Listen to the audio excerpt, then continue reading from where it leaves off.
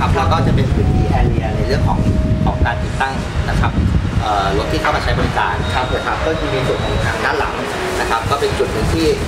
ใช้ในการติดตั้งเครื่องเสียงเหมือนกันนะครับ แล้วก็เราก็จะมีในส่วนของห้องไม้ห้องตัดไม้ห้องตัดโดยเฉพาะนะครับเพื่อที่จะป้องกันในส่วนของฝุ่นอะไรให้ได้มากที่สุดครับครับแล้วก็เก็บชิ้นงานอะไรก็อยู่ในภายในห้องห้องตัดไม้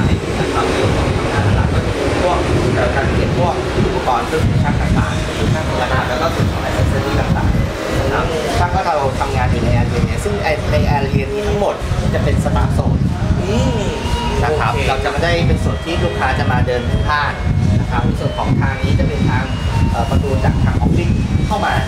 นะครับ แล้วก็สามารถออกเข้าห้องน้ำอยู่ทางด้านด้านด้านนี้ได้แล้วก็กลับเข้ามาที่ออฟฟิศเหมือนเดิมครับผมนะครับอ่าได้แล้วก็วันครับในส่วนของตรงทางด้านด้านหน้าของเราตรงนี้นะครับ ก็กำลังทำการติดอุปกรณ์ที่เราอยู่ในพื้นที่การทำงานอยู่เนี่ยเราก็จะมีเทป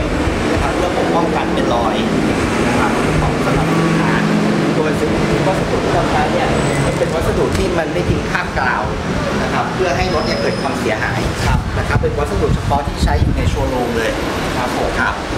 โอ้เยี่ยมเลยนะเนี่ยดูครับจากที่ให้บริการ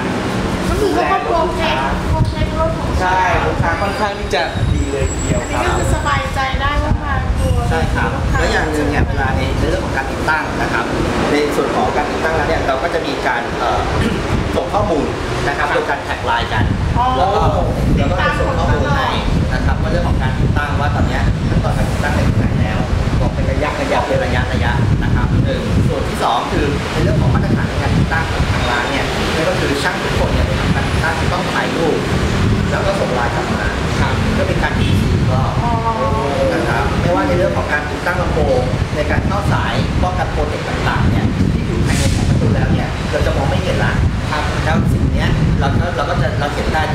จากทางเอ่อทีมงานช่างของเราเนี่ยน้องแม่ดีมากเลยมืออาชีพนะมีทีมซีได้ใช่มีแบบมืออาชีพเลยใช่แล้ววันวันๆเนี่ยลูกค้าเยอะไหมครับคือเราก็มีปริมาณในในการรับได้อยู่ในระดับหนึ่งนะครับ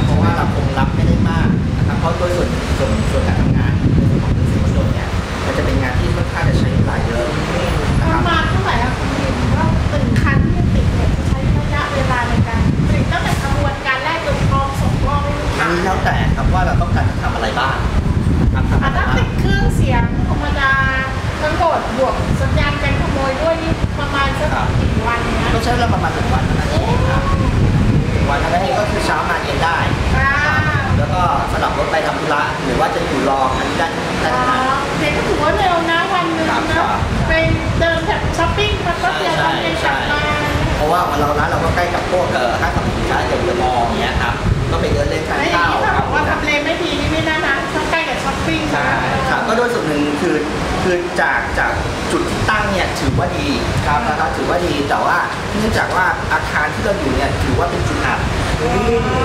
มันเป็นจุดอับในส่วนของทำเลในการในการมองเห็นครับเพราะมองมามันจะไม่มีจุดเด่นของป้ายอะไรเลยใช่ใช่ใช่เพราะว่าเนื่องจากว่าอาคารเนี่ยเราดูมาจากอาคารที่มันมีการยื่นเป็นด้านหน้า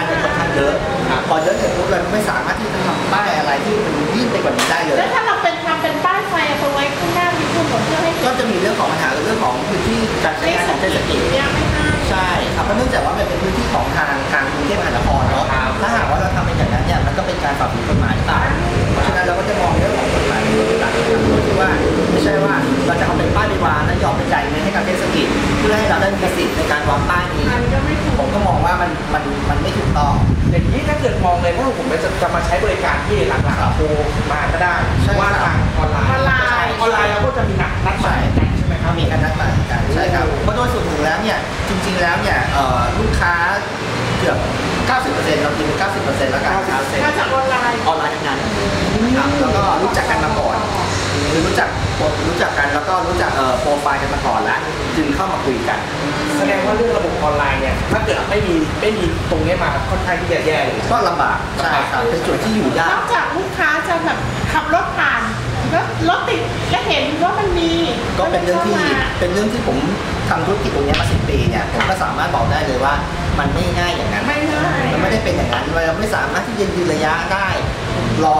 ด้วยการรอคอยได้นานขนาดนั้นนะครับผมก็เป็นมองว่าวันนี้เราคงต้องทำเป็นในเรื่องของการสมัครเชิงรุกอ่ามากกว่าออนไลน์เนี่ยสำคัญนะใช่เพราะว่าทีนี้เนี่ยเราเนื่องจากธุรกิจเนี่ยมันเป็นธุรกิจออนไลน์ที่ไม่ได้เน้นในเรื่องของการขาย product นะครับแต่ว่ามันเป็นการสร้างโปรไฟล์เออเพราะฉะนั้นสิ่งที่สำคัญที่สุดคือการสร้างโปรไฟล์ของของทางร้านออกมามากกว่าว่าเราทำอะไรที่ทำได้บ้าง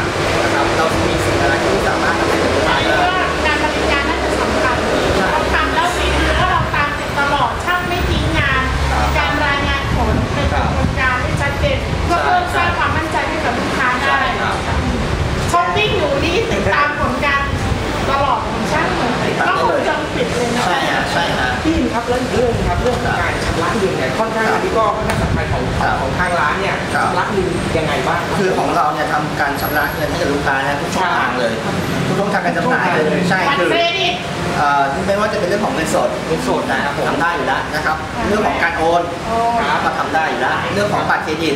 นะครับไม่ว่าจะเป็นรายการที่จะมีโปรโมชั่นศูนย์เปอร์เซ็นต์ไม่ศูนย์เปอร์เซ็นต์จะรับดอกเบี้ยหรือไม่รับดอกเบี้ยนะครับเป็นเรื่องของการทำการผ่อน ไม่ว่าจะเป็น e on first choice นะครับเราได้ทำหมด เราทำได้หมด ได้หมดเลยเรารองรองรับได้หมดทุกอย่างทันสมัยมากเลยค่ะน้องครับมากเลยมากเลยโอเค แล้วพี่ยินอยากจะฝากอะไรกับทางลูกค้าด้วย แล้วก็หลาย ๆ คนด้วยที่มาเหมือนกับอยากจะมาติดตั้งครับอ่าเครื่องเสียงในรถยนต์ครับคือถ้าหากว่าฝากเราก็ขอฝากร้านออฟฟิศสาวไว้นะครับเพื่อให้เป็นทางเลือก ชื่อเพจนี่คือออกซิเจนซาว ในเฟซบุ๊กนะครับก็ก็กดเอ่อกดค้นหาที่เฟซบุ๊กได้เลยนะครับ Oxygen Sound O X Y G S O D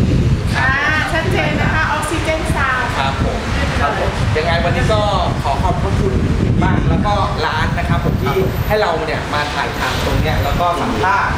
ว่าอ่าออกซิเจนซาวเนี่ยทำอะไรบ้างครับระบบที่เราจะใช้บริการมีอะไรบ้างเนี่ยก็ขอบคุณพี่มากๆยินดีครับผมยังไงวันนี้ต้องขอบคุณมากเลย